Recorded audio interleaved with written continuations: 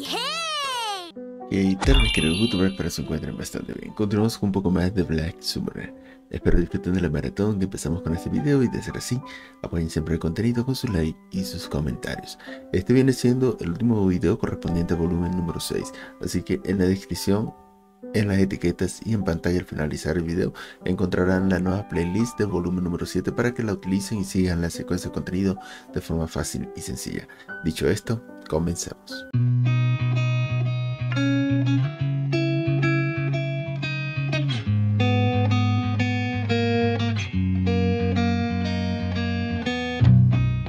B6. Historias cortas adicionales. Kelvin, las tres chicas y los pinchos de carne. Después de que terminara cierto evento que implicaba mucho alcohol, Kelvin dio un paseo por Gaon con Rion, Sutola y Ruka. Melfina y Gerard habían estado con ellos antes, pero luego se fueron porque tenían otras cosas que hacer. Sería demasiado largo entrar en los detalles de lo que los había alejado, así que lo dejaremos de lado por ahora. Oh, es el lugar de los pinchos de carne de ayer. Kelni, allí. Ese. ¿Qué? ¿Querías comer algo, Rion? Maestro, maestro. Yo también quiero un poco. Si te soy sincera, yo también, querido hermano. Las tres chicas, que en ese momento estaban pasando por etapa de crecimiento, parecían haber sido atraídas por los apetitosos olores que desprendían los pinchos en las manos de las personas que caminaban delante de ellas. Ayer mismo, había corrido la misma suerte con Melfina, lo que llevó a Kelvin a pedir 20 raciones para ella. Las otras chicas probablemente se habían contenido por consideración a lo cansada que estaba el dueño del puesto. Pero ese pincho es bastante grande, ¿no? Es de tamaño americano. O supongo que tiene más sentido llamarlo tamaño gauniano. Ninguno de ustedes tiene un apetito como el de Mel. ¿Están seguros de que cada uno quiere uno? No te preocupes, querido hermano. Todos esos pinchos tienen tres bloques de carne, y nosotros somos tres. Es cierto que no podremos terminar una brocheta entera cada uno, pero seguro que podemos terminar una juntos. Sutola Chan es tan inteligente. Maestro, puedo comer una manzana. Y que el Ni, si se da el caso, te tenemos a ti para terminarlo si realmente no podemos. Me parece justo. En realidad tengo espacio en mi estómago ahora mismo. De acuerdo. Denos un pincho por favor, señor. Kelvin, que había accedido a las súplicas de las chicas, se dirigió al dueño del puesto y realizó un pedido. Oh, usted es el de ayer. El dueño, que al parecer recordaba a Kelvin por lo impactante que había sido el incidente anterior, parecía ligeramente agitado. Seguro que no necesita añadir un cero a su pedido, señor. No, hoy estamos bien. Son estas chicas las que se lo van a comer. Por favor, gratínelo bien y delicioso para nosotros, señor. Delicioso. Por favor y gracias. Qué lindos clientes tenemos aquí. Ya lo tienes. Pondré mi corazón en azar este. El Best King fue lo suficientemente considerado como para poner cada bloque de carne en pinchos separados. Los jugos chisporotearon con una melodía y una fragancia tan celestiales que todos los que estaban cerca empezaron a salivar inmediatamente. Cuando terminó, envolvió cada porción en una gran hoja y las entregó. Las chicas las aceptaron alegremente y saltaron de emoción. El grupo buscó rápidamente un lugar para sentarse. No hay nada mejor que la experiencia de comer un pincho de carne sentado en un banco. ¡Qué rico! gritaron las tres al unísono. Kelvin observó a sus compañeras con cariño, pensando en lo agradables que eran también esos momentos. Aquí tienes, Kelni. Mm, ¿Ya estás llena? No, solo quiero compartir. Di a. Jaja, me recuerda a Efil. A, ñom. ¿Qué? ¿Fingimos ser Efil Sama? Maestro, yo también quiero hacerlo. Maestro, diga a. Un, un, tengo que hacerlo yo también. Querido hermano, un, por favor di, a. En ese momento, Kelvin creyó oír un lamento de Gerard en la distancia, pero decidió no darle importancia. En lugar de eso, se concentró en disfrutar de los bocados a medio comer que se le presentaban. Mmm, esto está realmente delicioso. Efil, ella, y curar la resaca, me siento tan mal, Sera gimió como un zombi. al día siguiente de haberse emborrachado sin querer y de haber hecho un gran alboroto, se había despertado con un dolor de cabeza que creía que la mataría. Su energía habitual había desaparecido, sustituida por tortuosos gemidos, con la cara permanentemente torcida por la agonía. ¿Qué debemos hacer? Efil Sama, preguntó ella. El conge es lo mejor para la resaca, respondió Efil. Tendremos que empezar por seleccionar los mejores ingredientes. Acompáñame al mercado. Entendido. ¿Debo llevar a Ruka también? No, dejaremos que Ruka acompañe a Rion-sama y a Sutola-sama. Están en la edad en la que prefieren jugar entre ellas, así que dejémosles pasar tiempo juntas. Gracias por su consideración, Efil Sama. Pero tal y como yo lo veo, tienes tanto derecho a jugar como ellas. Yo era mucho más revoltosa cuando tenía 16 años. Tengo al maestro, así que puedo prescindir de jugar. O no, mira la hora. Si tardamos demasiado, Sera-san podría fallecer de verdad. Debemos darnos prisa. Efil salió corriendo, con las mejillas ligeramente sonrojadas mientras ella la miraba con una cálida sonrisa. Las dos se dirigieron al mercado en busca de ingredientes de alta calidad. Oh, cielos, terminamos comprando demasiado. Te entusiasmas demasiado cuando ves ingredientes raros, Efil y Sama. Alrededor de una hora después, las dos sirvientas regresaron a la posada. Se quedaron mirando todo lo que habían comprado, todo dispuesto en el mostrador de la cocina que habían tomado prestada, dándose cuenta de que se habían pasado un poco. Sin embargo, la comida nunca se echaría a perder dentro del almacén de Cloto, y no había tal cosa como demasiada comida con Melfina alrededor, así que no había mucho problema. Bueno, entonces, empecemos a cocinar. Ellie, ¿puedes traerme el miso del almacén de Clochan? Aquí tienes. La pareja se puso a trabajar. Aunque ella tenía más del doble de edad que Phil, sabía a ciencia cierta que la chica más joven era, con mucho, su superior en el trabajo de sirvienta, especialmente en la cocina. Ella tenía mucha, mucha más experiencia en la cocina, pero la diferencia en la destreza era tan notable que este detalle no parecía importar. En el momento en que Phil cogía un cuchillo, los ingredientes de su tabla de cortar brillaban con una luz cegadora, palpitaban de vida y saltaban de energía. O, al menos, siempre parecía ser así, así de increíble era verla cocinar. Me parece que últimamente empiezo a oír débilmente que los ingredientes me hablan, no, debo estar imaginándolo. Estoy imaginando cosas. Este poder de Phil afectaba incluso a los que cocinaban con ella, ampliando enormemente la gama de lo que eran capaces de hacer. Ella sabía que su comida siempre salía más deliciosa cuando la hacía junto a Phil, aunque la otra chica ni siquiera tocara el plato en persona. Hemos terminado. Está brillando, Efil Sama. ¿Lo está? A mí me parece normal. Ella creyó ver que el conje en el cuenco desprendía un brillo amarillo dorado.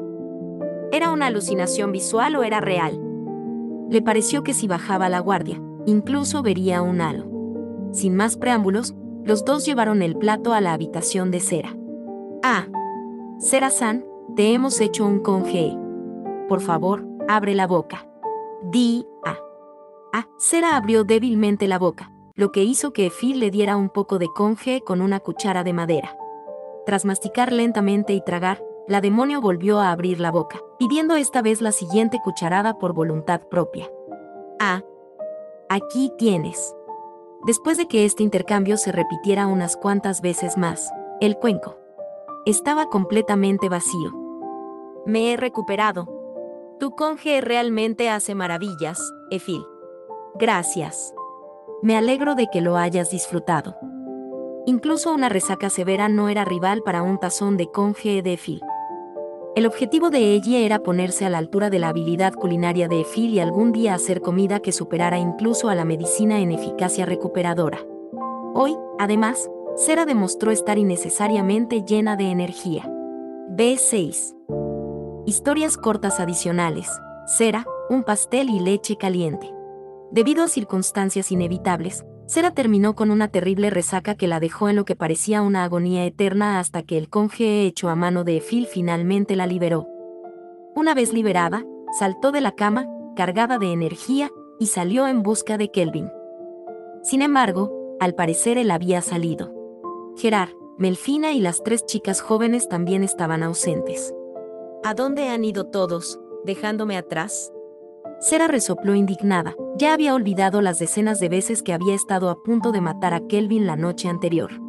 Sin embargo, no tenía sentido llorar sobre la leche derramada. La chica demonio cambió de marcha al instante y se dio cuenta de que tenía hambre. Lo único que había comido era el conge de Phil. Aunque su apetito no era tan grande, ese plato no había sido suficiente para saciarla. Efil parecía estar ocupada enseñando algo a ella, y Sera no quería interrumpirles. En consecuencia, la única opción disponible era buscar comida fuera. Sin dudarlo, se dirigió a la ciudad. Extra. Extra. Hubo una sorpresa en el concurso anual de bebidas del Rey Bestia. Consigue tu extra aquí. Un vendedor ambulante Beskin parecía estar vendiendo un periódico en la esquina de una avenida importante. Los oídos de Cera captaron el término competición de bebida. Habiéndose despertado con la peor resaca que recordaba esa misma mañana, hizo una mueca y decidió firmemente mantenerse alejada del evento. Ah, claro, está esa deliciosa cafetería de postres de la que me habló Goldiana el otro día. Resulta que está en la dirección opuesta a la de esa competición de bebidas o algo así. Debería ir a comprobarlo como posible lugar de cita con Kelvin. Una vez decidido cómo llenar el estómago, Sera, que tenía una gran memoria, Hizo un mapa mental basado en lo que le habían dicho y se puso en marcha a paso ligero. Debe ser aquí. No se equivocó ni una sola vez. Al llegar, tomó asiento de inmediato y consultó el menú que le entregó la camarera. Hay una selección sorprendentemente grande. Mm. Cuando sus ojos escudriñaron la página, un artículo le llamó tanto la atención que sus ojos se abrieron de par en par. Se llamaba tarta blood cake y era un pastel cubierto con una salsa hecha de naranja blood y frambuesa. Este artículo, que parecía un pastel cubierto de sangre, había respondido perfectamente a su sentido de la estética como demonio. Se volvió hacia la camarera con ojos brillantes. Dame una tarta blood cake. Dame una tarta blood cake. Otra voz femenina pidió por casualidad lo mismo al mismo tiempo. Sera no podía ver a la otra persona, ya que las cabinas estaban separadas por tabiques, pero la voz indicaba que estaba sentada espalda con espalda con la interlocutora. Mientras aplaudía mentalmente a la otra chica por su maravilloso gusto por la comida, pensó en qué beber. Acabo de recuperarme de una resaca, así que probablemente debería tomar algo que sea fácil para mi estómago. Una vez decidida, señaló el menú. Leche caliente, por favor. Leche caliente, por favor. Incluso la camarera no pudo evitar sonreír ante tan rara coincidencia. Sera asintió varias veces, impresionada una vez más por los gustos de la otra chica. Uf, eso estuvo delicioso. Este lugar es realmente una joya, Sera sonrió con satisfacción, agradeciendo mentalmente a Goldiana la recomendación. Decidió llevar a Kelvin allí algún día, y luego terminó el último bocado de leche en su vaso. La cuenta, por favor. La cuenta, por favor. Una sonrisa apareció naturalmente en el rostro de Cera. Era todo un golpe de suerte conocer a alguien que estaba tan en sintonía con ella. El impulso de asomarse por el tabique pasó por su mente. Sin embargo, como sería descortés hacerlo, desechó la idea. En realidad, tenía un sorprendente dominio del sentido común, al menos en comparación con los demás miembros del grupo de Kelvin. Decidida a respetar la etiqueta, se limitó a pagar y a salir. Sera regresó a la posada, con su cabello carmesí ondeando en la brisa. Al mismo tiempo, una chica más pequeña salió de la cafetería, con el cabello del mismo tono ondeando detrás de ella. ¿Eh? ¿Esos dos clientes vinieron por separado? Definitivamente pensé. Lo sé, ¿verdad? Eran tan parecidos. Tanto sus miradas como sus pedidos. Hey, todavía hay muchos clientes aquí. Es demasiado pronto para quedarse de pie y charlar. Lo siento, jefe. Varios días después, estas dos chicas de cabello rojo se encontrarían de nuevo en el escenario del Festival del Rey Bestia. Solo ellas sabrían si se enteraron de lo que había pasado hoy. B6. Historias cortas adicionales. Diario de observación de Daak Apretiachan. El orgulloso dragón negro Daak, discípulo mayor de la parca Kelvin e hijo del rey dragón de la oscuridad, tenía algo que le preocupaba. Ninguna otra cosa le había angustiado o sacudido el corazón como esta en sus más de 100 años de vida como dragón. Incluso ahora, en pleno festival del Rey Bestia, estaba escondido en un arbusto, arrastrándose a cuatro patas y retorciéndose de agonía. Oh, Pretia Chan. Estás tan guapa hoy, creo que me arden los ojos. Como, literalmente. Este dragón en forma humana había aprovechado el breve descanso que tenía para venir a espiar al ogro melocotón goldiana pretiana. Había utilizado su propia habilidad para hacer crecer una planta en la que esconderse para poder mirar a Pretia disfrutando elegantemente de una taza de té. Llevado tan lejos, sus acciones rozaban, no, estaban realmente muy dentro del ámbito del acoso. Si su objetivo hubiera sido una chica normal, podría haber hecho que lo arrestaran. No, tengo que recomponerme. Estar hipnotizado por la visión de mi hermosa diosa está bien y todo, pero tengo que recordar mi deber. El té de hoy es Darjeeling. Tengo que anotarlo. Sorprendentemente, Dak era capaz de distinguir los tés basándose únicamente en su color y fragancia. Esta era una habilidad que había adquirido como una forma de acercarse a Pretia, que creía que amaba el té por encima de cualquier otra bebida. De vez en cuando, se escabullía del grupo principal, algunas de esas veces, era para entrenar para esto. Gracias a su habilidad para controlar la naturaleza, su compatibilidad con las hojas de té era extremadamente alta, y sus esfuerzos estaban dando resultado. Bueno, lo estaban haciendo, pero, si así era como usaba esta nueva habilidad suya, se podía decir que era un total desperdicio. Mm, así que hoy no está bebiendo solo un té, sino varios. Como se esperaba de Pretia Chan, es tan generosa e imparcial con su amor incluso hacia las hojas de té. Es mucho más diosa que cualquier otra diosa. Daak era un hombre de verdad, por lo que siempre era directo con sus palabras. Sin embargo, si iba más lejos, podría ganarse la ira de una diosa de verdad, Melfina. Así que se limitó a anotar en su cuaderno las observaciones de hoy, con un rostro que reflejaba seriedad. En ese momento, sin embargo, un viento travieso pasó junto al asiento de Pretia. Su bonita falda rosa voló hacia arriba con una sincronización perfecta. Se levantó. Lo hizo. Puff. La sangre brotó de la nariz de Daak y cayó inconsciente en el acto. Permaneció en el suelo durante bastante tiempo antes de que alguien lo encontrara. ¿Qué había visto en ese instante? ¿Qué se había reflejado en sus ojos? ¿Con qué tipo de arma le habían agredido? Se trata de un secreto muy confidencial que solo él conoce. Esto es importante, así que vale la pena repetirlo, este es un secreto que nunca debe ser revelado. No hay necesidad de revelarlo. Querido, qué viento y qué niño más travieso. B6. Historias cortas adicionales, La sabia de oro y la santa de plata. Cuando eran jóvenes, la princesa Sutola Trisen, primera princesa de Trisen, y Colette Deramilius, oráculo de Deramis, habían asistido juntas a la escuela de Lumiest, la ciudad académica, en el continente occidental. Al ser una de las instituciones educativas más distinguidas del mundo, muchos estudiantes procedían de familias de la realeza, de la nobleza o de poderosos extremadamente influyentes. Sin embargo, incluso entre aquellos de tan eminente posición, estos dos sucesores de los jefes de las principales potencias de Trisen y Deramis, en el continente oriental, suscitaban una atención sin parangón. Esta pareja ya se había encontrado algunas veces, pero fue en Lumies donde experimentaron por primera vez el lanzarse a los estudios codo con codo. Ninguna de las dos era muy atlética, pero se rumoreaba que su capacidad académica la situaba entre los mejores estudiantes que había visto la escuela. De hecho, acabaron saltándose varios cursos. Los nombres Sabia de Oro y Santa de Plata surgieron de la nada y se quedaron. Era la primera vez que cualquiera de ellas se encontraba con alguien tan brillante como ellas, así que naturalmente se interesaron la una por la otra.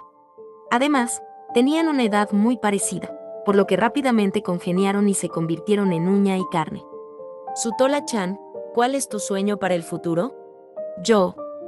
Un, esto es un secreto, ¿de acuerdo? Quiero un oso de peluche gigante como este. Tan grande que no pueda rodearlo con mis brazos. Oh, eso suena tan maravilloso. Ahora yo también quiero uno. ¿Y tú, Colette Chan? Cuéntame. Siguiendo tu ejemplo, yo querría una figura de tamaño natural de Melfina en Sama. Si fuera posible, querría tres copias, una para conservar, otra para usar y otra para hacer proselitismo. Por supuesto. ¿Eres tan codiciosa, Colette Chan? Pero creo que es un sueño muy bonito. Cuando estaban solas, La pareja se divertía mucho hablando inocentemente de cosas que nunca mencionarían delante de otras personas. A pesar de poseer unos conocimientos que rivalizan con los de la mayoría de los adultos, estas chicas daban una imagen muy pintoresca cuando charlaban alegremente y se reían como las de su edad, lo que provocaba que los demás a su alrededor les enviaran cálidas miradas. Además, quiero casarme con mi padre en el futuro. Y con el estimado hermano Asgrad también. La sonrisa de su tola era la imagen misma de la inocencia infantil. Hacer afirmaciones tan precoces era un privilegio de los de su edad. Y tú me llamas codicioso, ja, ja. No hay manera de que pueda elegir entre ellos. ¿Con quién quieres casarte entonces, Colette-chan? Solo tengo una persona en mi corazón, Melfina Sama. Dedicaré toda mi vida a su servicio.